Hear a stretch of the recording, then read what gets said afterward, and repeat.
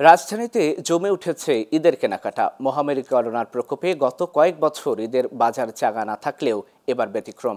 Market ও shopping মলগুলোতে দুপুরের পর থেকে দেখা যায় উপচে পড়া ভিড়। তবে পণ্যের দাম আগের বছরগুলোর তুলনায় অনেক বেশি বলে জানান ক্রেতারা।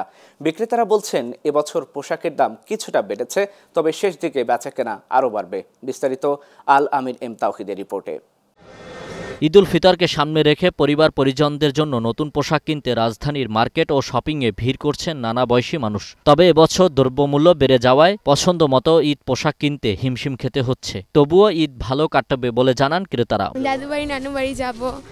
ইনশাল্লাহ ভালোই হবে ঈদ কাটা। আসছি শপিং করতে দেখি একটু ঘোরাঘুরি করে কোনো কিছু পছন্দ হয় কিনা হলে তাহলে হয়তো বা নেব অনেক বেশি দাম। আহ, মোটামুটি। আর আমার কিছুই পছন্দ হইতেছে না। লাস্টে এই দোকানে আসছি মোটামুটি ভালো কালেকশন এবছর পোশাকের দাম একটু বাড়তি হওয়ায় ক্রেতারা এখনও যাচাই বাছাই করছে। তবে শেষের দিকে বেচা কেনা আরও জমে উঠবে বলে প্রত্যাশা বিক্রেতাদের। গত বছরের তুলনায় এবছর একটু দামটাও বেশি ভাইয়া। আমাদের কেনাও বেশি কাস্টমারও বেশি দিয়ে নিতে হচ্ছে। প্রত্যেকটা ডিসপ্লে যা দেখতেছেন বেবি ডল থেকে না শুরু করে প্রত্যেকটাই একদম নতুনত্ব ঠিক আছে? মৈনিক কিছু সব যা আছে। তিন চার দিন আমরা প্রত্যাশা করতেছি একটু ভালো হবে। গত তিন বছর করোনা মহামারীর কারণে সবকিছু এলোমেলো থাকায় ঈদ উদযাপন ভালো না হলেও এবার ঈদ আনন্দদায়ক হবে বলেও মনে করেন ক্রেতা ও বিক্রেতারা। আল আমিনাম তাওহিদ গ্লোবাল টেলিভিশন ঢাকা